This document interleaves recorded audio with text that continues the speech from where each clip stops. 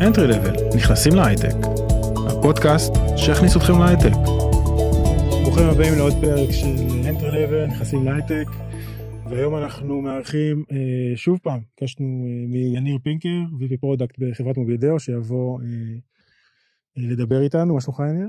טוב, היה, היה ממש כיף בפרק הקודם. היה מדהים, אה, ושמחנו מאוד שכאילו הסכמת לבוא ו- ולהמשיך. אז באמת בפרק הקודם אה, הסברת לנו בצורה מאוד מאוד יפה בעצם מה זה באמת התפקיד של, ה- של product, על איך שאתה נכנסת אליו,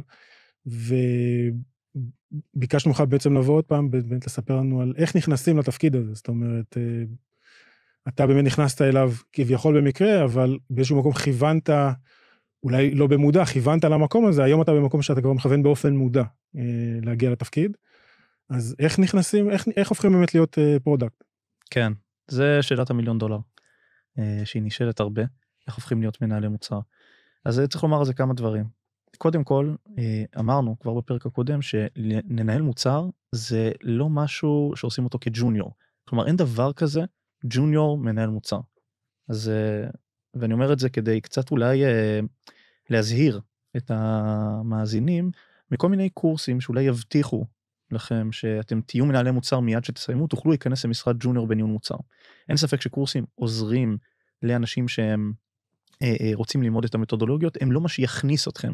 רוב, הקורסים בתעשייה אגב דורשים ניסיון מקדים, זאת אומרת הרצי, הקורסים הרציניים, יש, אה, אני מכיר Product Experts, יש עוד כמה קורסים, מהמם.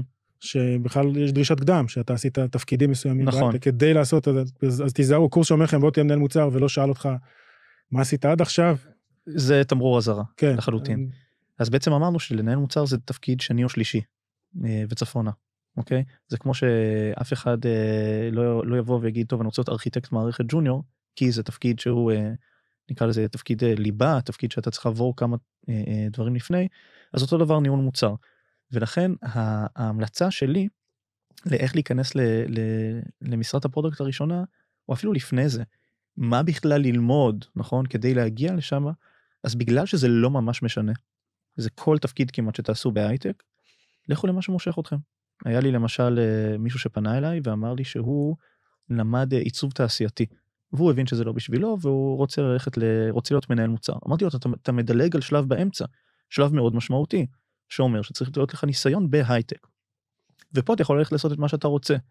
בחוש נראה לי שאם אתה נמשך לתחום העיצוב לך תעשה לך תלמד UX ואז תוכל אולי להתקדם ל product. הווי אומר אתה צריך לאהוב את התחנות שבדרך משתי סיבות סיבה ראשונה כי אתה כנראה תעשה את זה לא מעט זמן סיבה שנייה יכול להיות שתתאהב. כלומר מי אמר ש product זה המנוחה והנחלה זה תפקיד אה, כמו כל תפקיד אחר יש לו אתגרים ויש אה, רגעי שפל ויש רגעי שיא. ולכן זאת, ה, זאת ההמלצה שלי אתה רוצה להגיע ל product קודם כל תבין שיכול להיות שזה לא בהכרח יקרה בזמן הקרוב ולכן אם אתה באופן כללי נמשך להייטק או נמשך לתחומים מסוימים בהייטק לך למה שמושך אותך. טוב, זה, זה חשוב כאילו באמת מה שאתה אומר, כי אנשים שוכחים שהתפקיד נקרא product management, זאת אומרת זה ניהול מוצר. אז לפני שאתה, מנ- זה תפקיד ניהולי בעיקרו, אז לפני שאתה מנהל אתה צריך להיות גם עובד בהייטק כדי לנהל משהו בהייטק לפני זה, ובאמת הדילוג של המשוכה הזה הוא, אה, הוא פשוט לא אפשרי.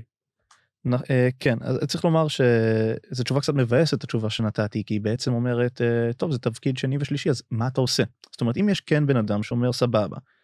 אני נמשך גם בתחום של אה, customer success למשל אבל אני כן מכוון להגיע ל product בסוף מה אני עושה עכשיו כשאני בתפקיד customer success. אז פה יש לי לומר שני דברים הדבר הראשון שאני רוצה לומר זה על, על החברה או לפני שנכנסת לחברה מסוימת אם אתה כן מכוון להגיע ל product אז תבוא ואפילו אה, אה, תבדוק תשאל בעדינות כמובן ב class תשאל האם הארגון הזה זה ארגון שתומך בלקדם אנשים מבפנים. עכשיו יש, יש ארגונים כאלה שלא מעט כאלה שאומרים אנחנו מעדיפים לקחת חבר'ה מבפנים ולגדל אותם מאשר להביא מישהו מבחוץ.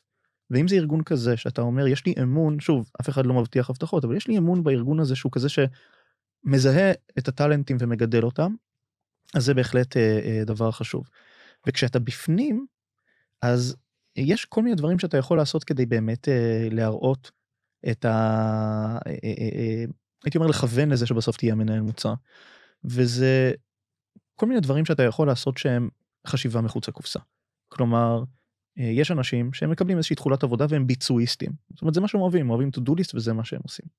יש כאלה שמרימים רגע את הראש ובאים ומנדנדים ממש לאנשים הרלוונטיים, אומרים להם תקשיב, יש לי רעיון אחר, אני חושב שאני יודע איך לעשות את זה, אני חושב שאפשר לאפיין פה פתרון אחר.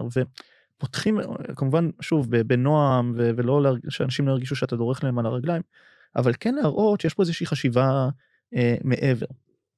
ובאמת אני אני שמעתי לא מעט אה, אה, מנהלי מוצר בכירים כאילו חברה שהם VPs ו-CPOs שזה אה, מנהלי מוצר שמנהלים מנהלי מוצר והם אומרים אנחנו מחפשים את החברה האלה בתוך הארגון אנחנו מחפשים את החברה האלה שיודעים לקחת את העבודה היומיומית שלהם ולהצליח לזקק תובנות עומק תובנות עסקיות לקחת מידע דאטה שהם עובדים איתו ולהצליח להפיק מזה תובנות החברה האלה הם הקנדידטים הראשונים מבחינתנו אלה שמנהלים את מנהלי המוצר למשוך אותם פנימה לתוך ארגון המוצר. אני חושב שקראתי אה, יש פוסטים בקבוצה הזאת של becoming product אני ראיתי כמה פעמים של מפתחים נגיד מפתחי front-end שמקבלים עכשיו את ה-UX או whatever שפתאום ממש מדליק אותם התהליך של ה-If UX זאת אומרת דווקא ה cross הזה בין התפקידים אתם יכולים להציע זאת אומרת הם, הם מסתכלים על זה לא מהמקום של הביצוע של הפיצ'ר אלא רגע, הפיצ'ר אמור לממש איזשהו פתרון עסקי, בסדר?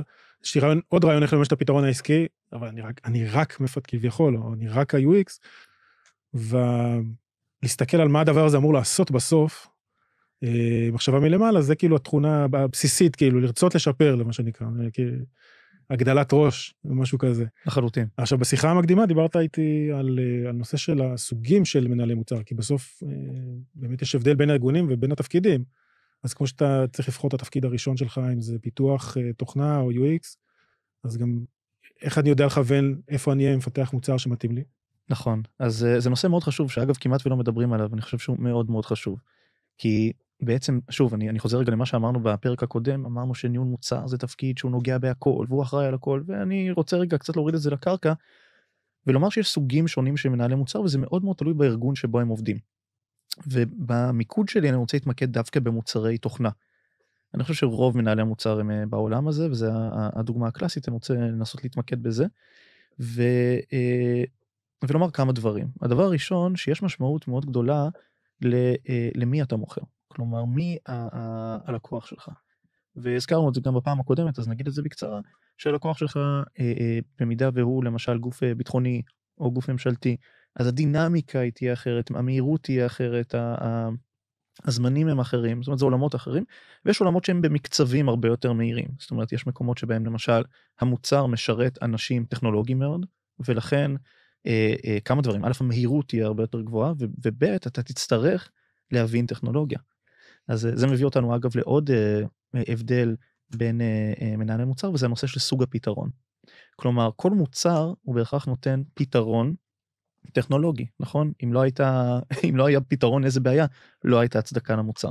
אבל פה צריך לשים לב למשהו מאוד מעניין. יש הבדל גדול מאוד בין uh, סוגי הפתרונות. יש מוצרים שהפתרון שלהם, המהות שלו היא טכנולוגית, אוקיי? אני אתן דוגמה הכי טובה, מוצרי סייבר. מוצרי סייבר פחות מעניין אותי חוויית משתמש ו onboarding כלומר כמה זמן לוקח למשתמש. יכול להיות שזה בכלל פתרון שהוא backend לחלוטין. לגמרי זאת אומרת אה, הפתרון פה הוא הטכנולוגיה. זה אה, אה, יש חברות וזה המוצר שלהם המוצר הוא cutting edge technology הווי אומר זה הקצה של הקצה. והמוצרים האלה הם בדרך כלל בגלל שהם כל כך טכנולוגיים אז בדרך כלל יחפשו מנהלי מוצר שהם technical product managers כלומר אנשים שבאים עם רקע טכני והם אה, אה, אה, אה, מבינים את הדומיין הזה, את ה, מבינים אותו לא בצד העסקי, אלא ממש בצד הטכני, כי הפתרון הוא הטכנולוגיה. הלקוח הוא לקוח טכנולוגי, הוא לא לקוח, אה, המימוש הוא לא עסקי, המימוש הוא טכנולוגי של המוצר. נכון. עכשיו אני, אני מעיד רגע על עצמי, ותכף אני אגיד מה הסוג השני של, אה, של הפתרונות, שאני אישית לא נמשך לזה. זאת אומרת, אני אישית אדם, קודם כל אני לא טכני. אני באתי מהעולמות של customer success, אני בא מהעולמות של הלקוחות, של המשתמשים, של הכאבים שלהם, ולכן מראש, אני לא אחפש להתקבל אה, לחברת אה, סייבר, גם אם הם יסכימו לקבל אותי, כי החשש שלי, שבסוף מה יקרה? בגלל שאני לא מבין את הטכנולוגיה, אז בסוף מה, אני, אני אהיה סוג של אה, אה, כמו PMO כזה שרץ ובודק שהדברים נעשו, הולך ומנדנד לאנשים לבדוק שבאמת הם עשו את מה ש... אין לך added value. בדיוק, אני בסוף. לא מביא איזושהי תובנת עומק. ויש הרבה מאוד מוצרים שהם משתמשים בטכנולוגיה כדי לפתור בעיות, אבל הפתרון שהם, שהם נותנים הוא ההתאמה של המוצר לבעיה, ולאו דווקא משהו שהוא אה, אה, מאוד מאוד טכנולוגי, זה נשמע קצת מעורפל, אני אסביר מה התכוונתי. למשל, תיקח את, אה, אה, ניקח את ספוטיפיי. אוקיי? הפתרון שהם נותנים, הם נותנים איזושהי אפליקציה מבוססת טכנולוגיה, אבל זה לא אה, אה, טכנולוגיה שהיא cutting edge שאף אחד לא שמע עליה אי פעם, אלא בעזרת טכנולוגיה הם עוזרים לאנשים לקבל לצרוך את המוזיקה או את הפודקאסטים שלהם בצורה שהיא נוחה. מה המשמעות? המשמעות היא שהטכנולוגיה פה היא משנית. הדבר המרכזי הוא ההתאמה של המוצר לצרכים של הלקוחות, ולכן יש שם הרבה יותר דגש על ההבנה של המשתמשים, על, ה, על היוזביליות של, ה, של המוצר. יוזביליות זה אומר השימושיות, כמה נוח להשתמש בו, כמה קל, כמה הוא נעים. על ההתאמה בין הפתרון הטכנולוגי לבין הצורך של הלקוח, וזה הרבה פחות יהיה עיסוק בדברים שהם מאוד מאוד מאוד טכניים. עכשיו יש עוד כמה דברים שמבדילים בין מנהלי מוצר אה, שונים. אז אה, דיברנו שוב, דיברנו על, על סוג הפתרון, האם הפתרון הוא מאוד טכני או שהפוך, הוא דווקא אה, אה, פונה לבעיה של משתמשים. ויש עוד דבר מאוד מעניין שזה הסיפור של אה, סוג הלקוח. יש לקוחות שהם אה, B2B, כלומר המוצר הוא B2B, אתה מוכר לארגונים, ולכן באופן טבעי יהיה לך הרבה פחות לקוחות, כל לקוח הוא יהיה מאוד גדול, ואתה תעבוד מולם, ויכול להיות גם מקרים שבהם יבוא לקוח וינחית עליך בקשות והוא לקוח גדול וצריך לעשות אותו. יש גם מוצרים שהם B2C, B2C זה אומר שאתה מוכר לקוחות קצה, שוב כמו ספוטיפיי, זה אפליקציה כל אחד יכול להוריד, הניהול מוצר פה יתאפיין בהרבה פחות ממשק עם הלקוחות עצמם, לדבר איתם הרבה, לנהל איתם שיחות, אתה לא פוגש אותם, והרבה יותר עם נתונים, כי זה הרבה מאוד אנשים שמשתמשים במוצר, יש לך הרבה מאוד נתונים, הרבה מאוד דאטה, ולכן אתה בטח תעבוד הרבה יותר צמוד לדאטה אנליסטים, ולכן כל אחד לפי המשיכה שלו, שיחליט אם הכיוון של B2B או B2C מעניין אותו. אה, יש עוד אה, אה, כמה דברים, אנחנו נגיד אותם בקצרה, שמבדילים בין סוגים של ניהול מוצר. יש את הנושא של המודל העסקי. כלומר, מה מניע את הגדילה של הארגון? יש מקומות שמאוד מאוד מתבססים על אנשי מכירות. הם, הם האנשים עם הכוח, הם אלה שיחליטו, הרבה פעמים הם אלה שיחליטו מה לפתח, כי זה מה שהלקוחות צריכים. ויש מוצרים שמוצרי product led growth, הווה אומר שהמוצר עצמו דוחף את הגדילה.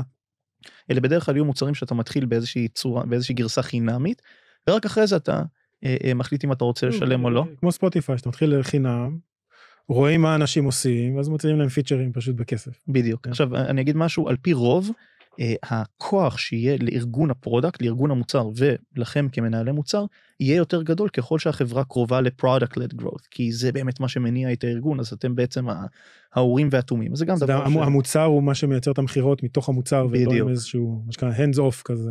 לגמרי מה שנקרא low touch אף אחד לא נוגע כן. הלקוחות משחקים עם זה בעצמם אוהבים כמו סלק מתחילים צוות קטן, אחרי זה רוצים לגדול, מתחילים לשלם.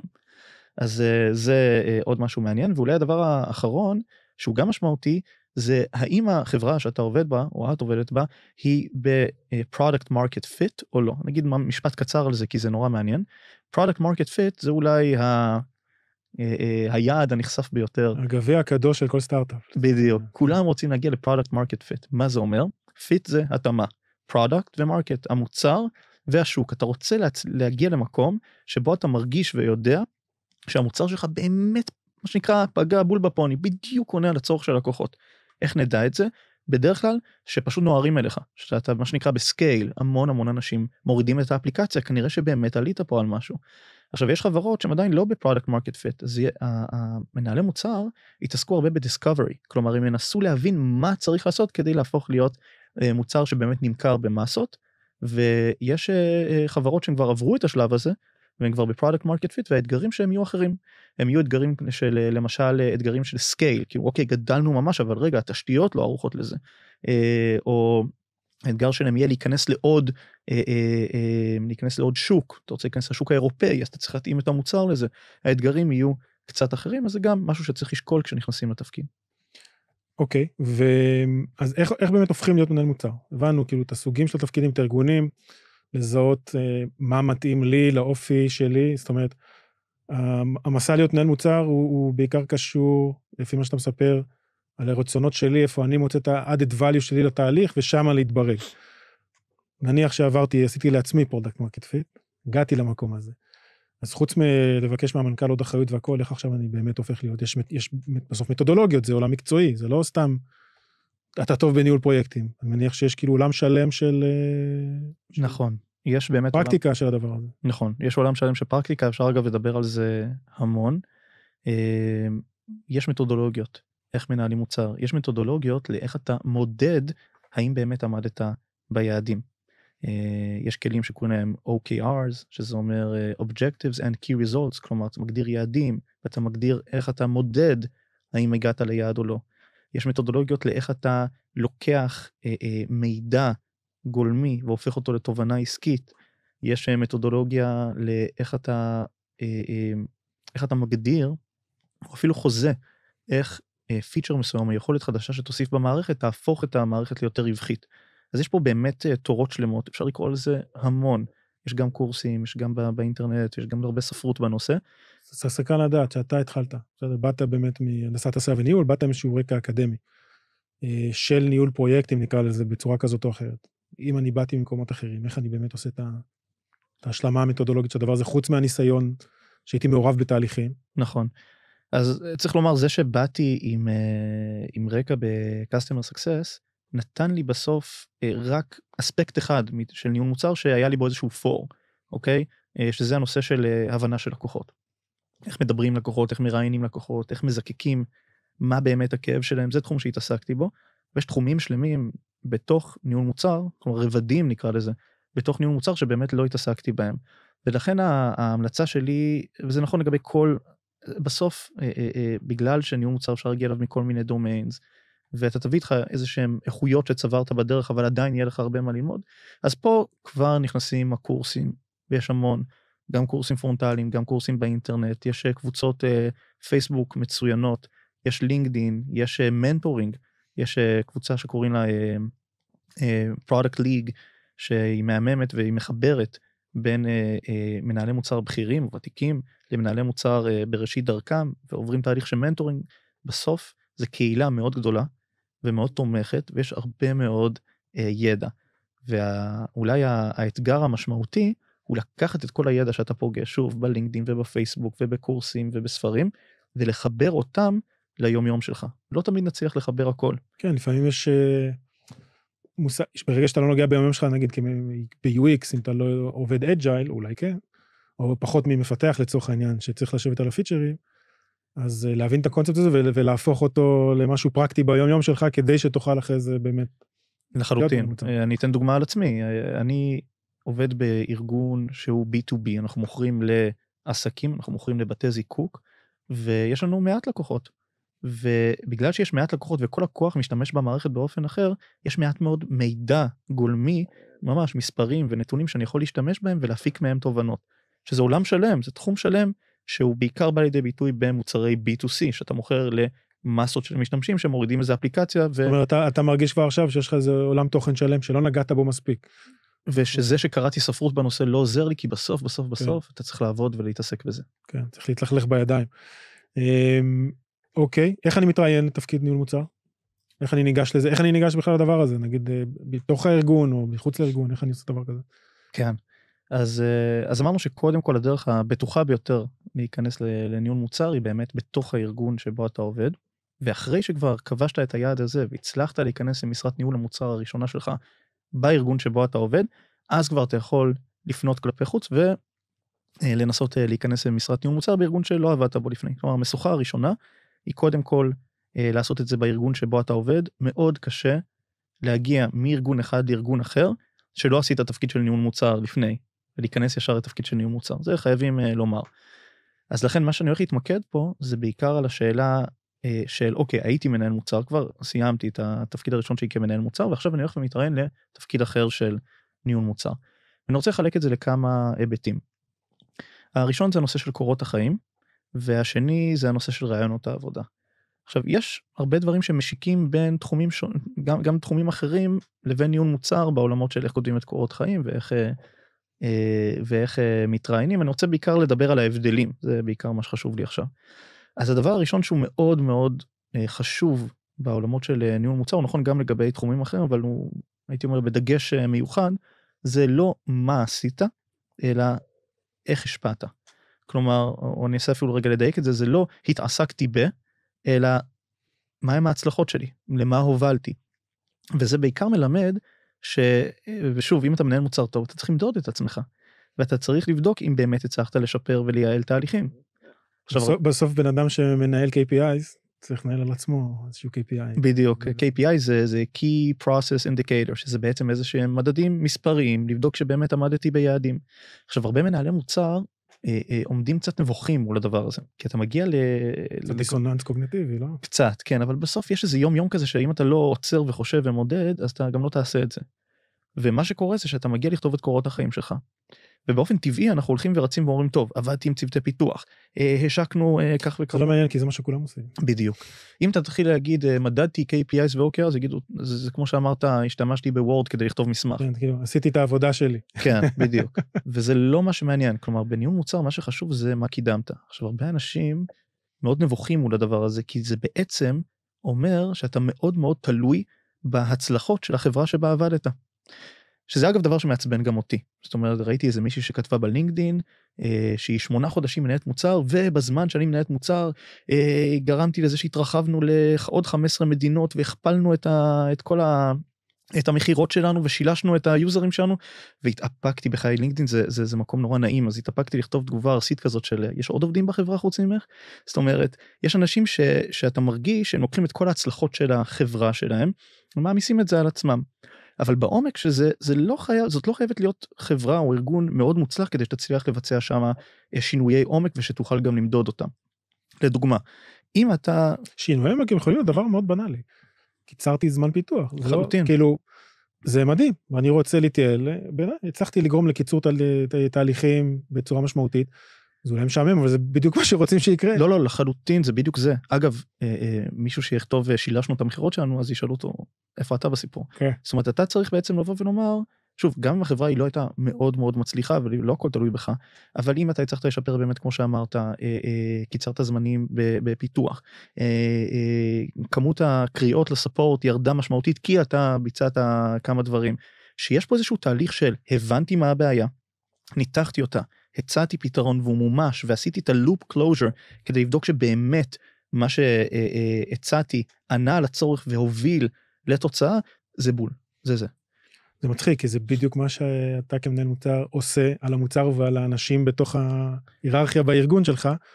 אז זה, זה, זה מקסים שאתה מתאר את זה כאילו ישועה אחת. אגב עוז יש לנו הרי את המדריך לכתיבת קורות חיים הייטק זה כאילו המלצה של מי שהיה מנהל HR בגוגל, זאת אומרת יש נוסחה לכתיבת קורות חיים, שיפרתי X על ידי העשייה של Y, כי התוצאה הייתה Z. זאת אומרת, גם אם אתה מתכנת, גם אם לא משנה איזה תפקיד, בסוף מי שרוצה לגייס אותך, רוצה להביא איזה value אתה מביא לחברה, לא, מה, לא, לא הרשימת, הרשמת, אתה יודע, רשימת הציוד של היכולות שלך, כי הסטק הטכנולוגי שלך, אוקיי, לא מעניין, האם, האם אתה גם הבאת איזשהו added value מעבר ל... לחלק הטכני שזה ה-obvious, אז אה, אחד כמה וכמה אצל מנהל מוצר. זה נכון, וזה מקפיץ אותי ישר לסיפור של הראיונות עבודה. כי בראיונות עבודה, רוב השאלות יהיו בדיוק סביב זה.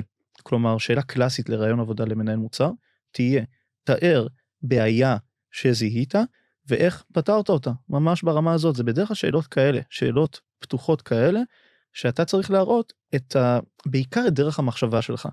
איך זיהית את הבעיה, איך ניתחת אותה, באיזה כלים השתמשת, עם מי דיברת, ואז איך אפיינת את הפתרון, ובהתאם לזה איך מדדת את ההצלחה. אז שים לב, יש פה כמה דברים, יש פה גם את היכולת אה, לזקק את הבעיה, להבין אותה. יש פה גם את היכולת לדברר אותה, נכון? לסדר אותה, לנתח אותה, להסביר אותה, ולגזור מזה גם אה, אה, מסקנות תפעוליות, צריך לעשות כך וכך במוצר. והשלב האחרון זה בעצם הסגירה של למדוד את זה ובאמת להוכיח שהמדדים השתנו בהתאם לטובה. אוקיי, okay, שדיברנו מקודם, הזכרת את המושג product sense, אני אשמח ש, שתרחיב כאילו. כן, אז product sense זה בעצם סוג של מטלה שנותנים למנהלי מוצר תוך כדי ראיון. הווי אומר, אה, אומרים לו עכשיו אנחנו נעשה שאלת product sense, נקדיש לה 20-25 דקות, נדבר בינינו ונראה איך אתה מגיב לדבר הזה, זה מאוד נפוץ, וככל שזה יותר נפוץ יש הרבה מאוד uh, דוגמאות לזה בעיקר ב YouTube אפשר ממש לחפש product sense uh, interview questions ויש ים של זה, דוגמאות. זה, זה בעצם מתודולוגיית עבודה של אז product. זה, זה כלי שעוזר, הרי כל, אני אסביר רגע מאיפה זה מגיע. Uh, הרבה אנשים יודעים לדבר את עצמם ולהגיד מה הם עשו בחברה שלהם ובעצם אין, אין למראיין שום יכולת לאמוד האם זה נכון או לא נכון, יכול להיות שהכנת עכשיו איזה pitch ופשוט דקלמת אותו ואין לי מושג אם באמת עשית את זה נכון. אחת מהדרכים לבחון האם באמת אתה, האם אתה באמת מנהל מוצר טוב בראיון עבודה, זה דבר מאוד קשה. זה לשאול אותך שאלות עומק על התפקיד שעשית וממש ככה להיכנס לתוך איזה איזה נושא שהעלית ולחקור ולחפור ואז למצוא את ה... מה שנקרא או למצוא את האזורים שאתה נופל בהם או להפך לראות שאתה חד ואתה יודע לענות. ויש עוד מתודולוגיה אחרת שאומרת בוא רגע נצא מהאזור הזה של המקום שבו אתה עבדת בוא נפסיק לדבר עליו רגע אני אתן לך איזושהי דוגמה לבעיה או לאיזשהו מוצר בוא נאפיין אותו ביחד. בדרך כלל זה יהיה משהו בסגנון של בוא נעשה Spotify uh, לילדים בוא נעשה Google Maps לתיירים בוא נעשה Uber uh, לחרשים זאת אומרת זה תמיד יהיה בוא ניקח מוצר שאתה כבר מכיר ובוא עכשיו ננסה לייצר איזשהו feature או איזושהי יכולת שתתאים לאוכלוסייה. האמת שזו מתודולוגיה חמודה, היה לנו כאן אה, פרק אה, על QA. אז הוא אומר, אני אתן לך, טוב, איך אתה עושה QA לכספומט? הדבר הכי בנאלי ברחוב, אוקיי, אבל בוא תראה שאתה יודע את, את, איך אתה מגיע. כאילו, סתם להגיד, תכניס, תוציא כסף, איזה עוד דברים, אז זה, זה מגניב. ממש. הזה. כאילו, לקחת משהו אמיתי מהחיים שאתה אמור כאילו להבין, ו... זה reverse engineering סוג של כזה. כן. עכשיו, אני חושב שמה שחמוד בשאלות האלה, זה ש... אם נאחזים באיזושהי אה, שיטה, יש ממש סדר פעולות כדי לענות על השאלות האלה, אם אתה נאחז בזה, אתה תופתע לגלות שאתה מביא רעיונות שבחיים לא חשבת שתביא אותם. וזה בדיוק מה שהמראיינים מחפשים. לא באמת מחפשים שתביא להם אה, פתרון אמיתי, תאפיין עכשיו מוצר שלם. זה לא צחוק. אתה לא עכשיו תאפיין מחדש את ספוטיפיי או את יוטיוב או את פייסבוק, אלא הם רוצים לראות איך אתה חושב. האם אתה חושב בצורה שהיא סדורה, או שאתה חושב מפוזר ו- ואתה לא, אתה לא יודע בכלל איך לגשת לבעיה. ומנהל מוצר שחושב בצורה סדורה, וזה כל כך יפה, זה למה אני כל כך אוהב את השאלות האלה, רואה שכשהוא עוצר ומסביר רגע לעצמו מה הבעיה, מה הכאב, פתאום הפתרונות צפים. איפה, איפה ה product sense של מטלה בתוך ראיון? כי ראינו פוסטים שמדברים על, נתנו לי מטלת בית שאמרו לי שזה ייקח 20 שעות, זה שבוע עבודה. שמה שקרה, הביאו עכשיו אה, ממש תוכנית פעולה למוצר שלם. איפה, איפה עובר הגבול במטלות האלה של ה... נכון, אני חושב ש product sense, ואני לא בטוח שאני צודק, אבל לתחושתי זה הגיע כאיזשהו אה, קיצור דרך. כי הייתה הרבה ביקורת על זה שבראיונות עבודה נותנים לאנשים תרגילי בית. אשכרה על מוצר שמפתחים, במקום, במקום להביא מנהל מוצר בוא תביא 20 מועמדים שהתראיינו ותבחר את אחד הרעיונות. שמעתי סיפורים על חבר'ה שאמרו אה, פיתחתי כאילו נתתי איזושהי הצעה לא קיבלו אותי בסוף השתמשו ברעיון שלי דברים הזויים. ו product sense זה כאילו לקחת את המטלות בית שבהם אתה צריך uh, להציג ויזואלית איך הדברים יראו ולייצר את כל ה flow והסברים ודברים ולעשות את זה בשיחה. בלי לגזול זמן מהמרואיין ובוא נעשה את זה ב-20 דקות אבל ממש בנגיעות. זאת אומרת במקום שאתה צריך לסדר את זה ולערוך את זה ולהציג את זה. בוא נדבר 20 דקות ואני כבר ארגיש האם אתה בכיוון או לא בכיוון. אתה יצא לך לתרגל, זה משהו שאפשר לתרגל אותו לצורך העניין לפני רעיון עבודה? לחלוטין. ההמלצה שלי היא לקחת אה, למשל את הסרטונים האלה ביוטיוב שבדרך כלל יראו שם שני אנשים אחד מראיין את השני ושואל אותו שאלה כזאת הוא יאמר לו אה, בוא תעשה פיצ'ר לפייסבוק ש... שמקרין סרטים לא יודע משהו כזה. ורגע לפני שאותו בן אדם מתחיל לענות תעצרו את הסרטון ותתחילו לדבר ממש לדבר בקול כאילו אתם עומדים מול מראיין ותנסו לענות על השאלה. עכשיו מה שמעניין זה שאין תשובה נכונה ולא נכונה. העיקר שזה יהיה שיטתי. והשיטה בקצרה נאמר אותה היא קודם כל להגיד מה הבעיה כלומר להסביר מה הכאב מה הבעיה. אה, אה, להגיד רגע מי המשתמש ובוא נאפיין אותו רגע. זאת אומרת אם למשל אני רוצה לתת ספוטיפיי לילדים אז בוא נדבר על מה מאפיין ילדים. מה שעושים אה, מאפיינים פרסונה כאילו? כן בדיוק אתה אומר רגע רגע רגע במקום שעכשיו אני אבוא ואתחיל להציע רעיונות שנייה אחת בוא נדבר רגע מה ילדים צריכים מה כואב להם למשל ילדים לא יודעים לקרוא. אז הם צריכים שהכל יהיה ויזואלי. מה חשוב לילדים, של להורים של הילדים שמשלמים על אפליקציה. למשל, בדיוק, אז, אז אתה, אתה מאפיין כבר את הפרסונות, אז אתה אומר, רגע, יש לי את ההורים של הילדים, יש לי את הילדים עצמם, יש פה כמה אנשים שמעורבים בזה ואני צריך לתת לכולם מענה, ואז ברגע שאתה הקדשת באמת את רוב הזמן, 70-80% מהזמן, כדי לדבר על הבעיה ועל הבן אדם או הפרסונה שהיא זאת שצריך לתת לפתרון, הפתרונות עולים מאליהם. כי אם אמרתי למשל שילד לא יודע לקרוא, אז בהכרח הפתרון יהיה להציג לו את הדמויות בתמונה. אבל אם למשל אני הייתי מתראיין למשרד ניהול מוצר, והיו מביאים לי שאלה כזאת, וישר הייתי עונה את התשובה. הייתי אומר, אה, ילדים, אין בעיה, זה צריך להיות 1, 2, 3, 4, לא הייתי מתקבל, כי לא הראיתי איך הגעתי לזה. וזה כל צורת החשיבה, ששואלת, רגע, רגע, רגע, מי הבן אדם, מה הכאבים שלו, איך אפשר לעזור לו, מה הוא צריך, ואז בוא נציע פתרון. שמע, מה שאתה אומר כאן זה מקסים, ולא הזכרנו את זה גם בפרק הקודם וגם עכשיו אולי זו הזדמנות. מה שאתה מתאר זה תהליך עבודה גם ב marketing. בסדר? כדי לייצר, אה, טוב, קודם כל מבין את הפרסונה, וזה מאוד קשור ל product led growth, בעצם product led growth מעביר את ה marketing לתוך המוצר, את החוויה של, השיטה, של השימוש. אז אה, גם עם אנשים שבאו מ marketing, ימצאו את מקומם בתוך product, כי בסופו של דבר ה marketing זה למכור את המוצר, אבל לפעמים המוצר זה מה שמוכר את עצמו, אז בעולמות מאוד מאוד קרובים, גם בתהליך הזה שעכשיו אה, תיארת. שאנחנו קוראים לזה נגיד הפיצוח המרקטיאלי של התהליך או אסטרטגיה שיווקית, זה בדיוק זה באיזשהו מקום. לחלוטין. אז זה ממש מקסים. אז איך היית ממליץ להיערך באמת לראיון עבודה לתפקיד אה, product? אז פה זו נקודה מעניינת, כי שכשאתה מגיע לראיון עבודה למשרת product, אתה יודע בדיוק מה הם רוצים, הם כתבו את זה. הם כתבו בדרישות התפקיד בדיוק את מה שהם מחפשים.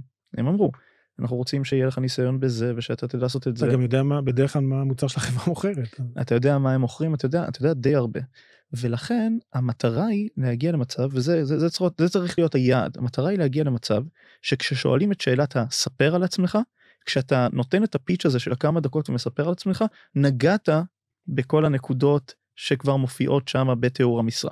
אם הגעת למצב שהם צריכים לבוא ולהגיד אחרי שסיימת את הפיץ' הזה רגע רגע רגע ואני שומע שלא התעסקת בדאטה ברעיונות עם משתמשים בדברים אחרים שהם רשמו אז כנראה שעשית את זה לא מספיק טוב שוב זה לא אומר שהלך הרעיון אבל החוכמה היא לענות על השאלה עוד לפני שהיא נשאלת. זה האמת אה, טקטיקות שלא טקטיקות נקרא לזה זה בא ממש מעולם המכירות. אתה יודע מה הכאבים של הצד השני אז אני יכול להגיד להגיד לך בלה בלה בלה בלה בלה ניתוח נתונים בלה בלה בלה בלה בלה בלה, ניהול פרויקטים בקנה מידה גדול. זאת אומרת, התיאור משרה זה בעצם מה שהם פסיכולוגית מחפשים למצוא. אז ספר לי על עצמך, אם אתה, זה יפה מה שאמרת, זה ממש כאילו, זה סוג של פיץ' מכירה על עצמך, בלי למכור, זה פשוט אשכרה לשבץ את המילים. ככה אגב עובד אה, שיווק, כן? זאת אומרת, שיווק טוב, דיגיטלי, הוא גם דיפרנציאלי, אתה מייצר את המסר לבן אדם שיגרום לו עכשיו להקליק נגיד על מודעה או על משהו, זה המיקרו קופי, לצורך העניין. אז זה כאילו לעשות מיקרו קופי על עצמך, על הרעיון, זה מה שיגרום לאנשים יותר ללחוץ על המודעה, אז פה זה נגיד, אה, אוקיי, הוא מדבר על מה שאני מחפש. אז אה, ממש אה, מכירות ושיווק בתוך רעיון עבודה, זה מדליק. קודם כל, אתה מגיע לרעיון עבודה, אתה לחלוטין משווק את עצמך, וצריך לומר שהרוב המוחלט של רעיונות העבודה מתחילים ומסתכמים בשאלה אחת בלבד, ספר על עצמך. ולכן, אה, אדם שבא להיערך לרעיון עבודה, בטח בניהול מוצר, צריך שהשאלה הזאת תהיה תפורה, המענה לשאלה הזאת ישתנה בהתאם למקום שאליו אתה, אתה מגיע. כי שם אתה נמדד. כלומר, חמש דקות הראשונות שבה אתה נותן את הפיץ', הם אלה שיגדירו לאן הרעיון הולך. כלומר, בדרך כלל, המשך הרעיון פשוט יהיה הרחבות מהשאלה הזאת. רגע, הזכרת שעשית כך וכך, ספר על זה.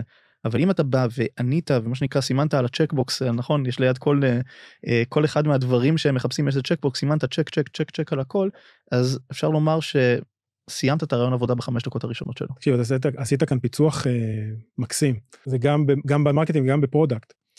השאלה של ספר לי על עצמך, זה פחות מעניין, ספר לי על עצמך בשבילי, ספר עלינו.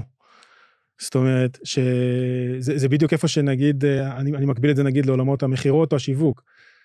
אם אתה עושה עכשיו קמפיין שיווקי שמספר על המוצר ולא איך המוצר פותר את הבעיה ללקוח, אף אחד לא יקנה, אתה צריך לספר על הלקוח. אז אה, האמת שזה, עשית כאן פיצוח מקסים, תקשיב. לחלוטין, זה איך אתה, זה לספר על עצמך, הייתי מגדיר את זה אפילו ספר איך אתה פותר את הבעיה שלי, נכון? כן. עכשיו, אם אתה תבוא ותיתן פה הרצאה שלמה על איך אה, לקחת מוצר שהוא נגיד מוצר מאוד ותיק, והצלחת אה, אה, אה, לגרום לו לנוע הרבה יותר מהר, אבל סיפרת את הסיפור היפה הזה לסטארט-אפ, שהמוצר הוא בחיתולים, אז כן, בעצם יושבים ואומרים, רגע, אתה לא פותר את הבעיה שלי. אז תדע מול מי אתה מתראיין, ובהתאם לזה תתאים את ה... שמע, הבאת כאן עכשיו איזה שלושה טיפים. אה, יפה, הצלחת לזקק, כמו שאמרת, אתה יודע, product, הצלחת לזקק, לזקק את השאלה. אז... אה, אני אביא עוד טיפ אחרון. כן. אה, אני חושב שגם בן אדם שהוא מנהל מוצר ולא מחפש עכשיו עבודה, הייתי מאוד מאוד מציע לו להסתכל על job descriptions, סתם ב LinkedIn, ולהבין מה התעשייה מחפשת. בהתאם לזה, שלא תמצא את עצמך אחרי זה מופתע. שאוי לא, לא התעסקתי בזה, או עכשיו אני צריך להסביר ולתרץ למה לא התעסקתי בזה. הרבה מהדברים שכתובים שם בדרישות, הם דברים שאתה יכול לבוא ולהטמיע אותם אצלך בארגון. אז אני חושב שגם אם אתם לא מחפשים עבודה, ללכת ולהבין מה מחפשים בשוק, זה דבר מאוד משמעותי. טוב, נגמר לנו הזמן. אה, שמע, פרק מרתק, אני בטוח שזה יעזור להרבה מאוד אנשים שרוצים להתמיין או להתקדם, או כאלה שכבר רוצים עכשיו לעבור באמת לתפקיד הבא. אז uh, תודה רבה, אנחנו ראיינו פה היום את uh, יניר פינקר, אה, שוב, אה, VP product, תודה רבה, יניר. תודה לך, ושוב אני אומר, אמרתי את זה גם ב... אה, בפרק הקודם, שכל מי שרוצה לפנות אליי להתייעץ, שיחפשו אותי ב LinkedIn, ובכיף. תענוג, תודה רבה, נתראה. תודה. ביי. thank you